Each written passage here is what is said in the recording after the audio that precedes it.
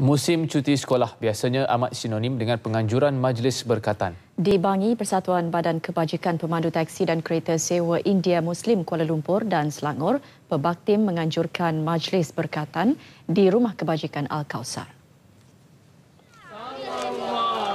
Seramai 17 kanak-kanak lelaki berumur 5 hingga 12 tahun dikatankan dalam majlis ini yang dihadiri kira-kira 200 orang.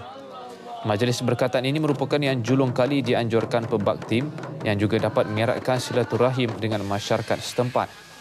Beberapa kanak-kanak lelaki yang ditemui masing-masing melahirkan pelbagai perasaan iaitu gementar kerana sebagai lelaki, istiadat berkatan adalah antara perkara wajib yang perlu dilalui menjelang usia remaja.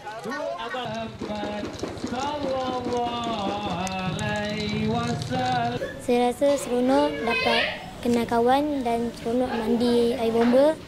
Saya rasa takut tapi saya rasa tak ada apa-apa yang saya takutkan. Yang paling best mandi air bomba, makan, makan makanan sedap-sedap.